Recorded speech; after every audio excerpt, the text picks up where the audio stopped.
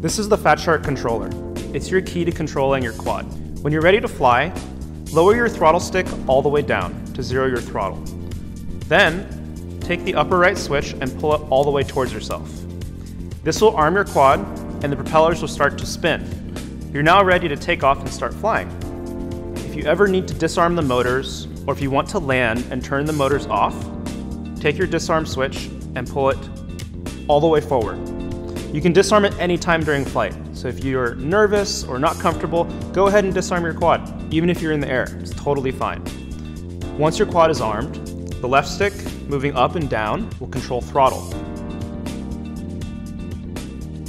So that's your elevation for your quad. Moving the stick to the left and right will control yaw or spin.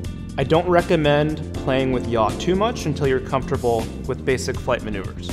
The right stick controls roll and pitch. When you move the stick to the right, your drone will start to drift to the right. When you move it to the left,